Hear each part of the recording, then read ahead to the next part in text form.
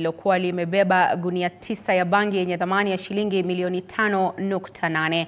Kulingana na kamanda wa polisi wa kaunti ya Nyandarua Mohamed Arero, polisi walikamata mshukiwa mmoja katika mji wa Miharati kufuatia taarifa kutoka kwa wenyeji. Kamanda wa polisi kaunti hiyo ametoa onyo kali kwa wanaojihusisha na ulanguzi wa dawa za kulevya huku kaunti hiyo akisema kuwa vyombo vya usalama viko macho kumkamata yeyote bila kujali hadhi yake.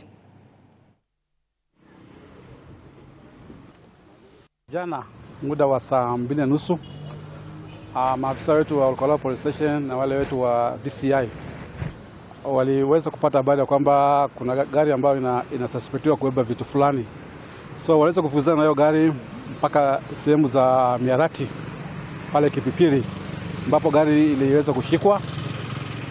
Uh, walipofungua hiyo gari so wakaweza kupata gunia tisa za ile mimea mbaya inatonga ina, ina bangi so uh, the suspect mwenye alikuwa nayo gari tumeweza kushika yeye, na leo asubuhi tumeweza kupeleka yeye kotini.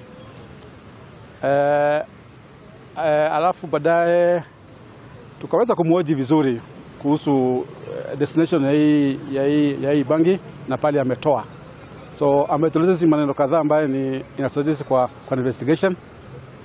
Eh, baadaye tukagundua kwamba pia gari yake hii gari natumia hapa zinatumia number plates zile tunazanga fake, so ako na number plate mbili, moja sio genuine na moja ni genuine.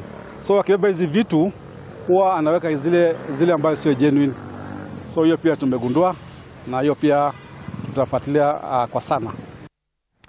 Mtazamaji, katika taarifa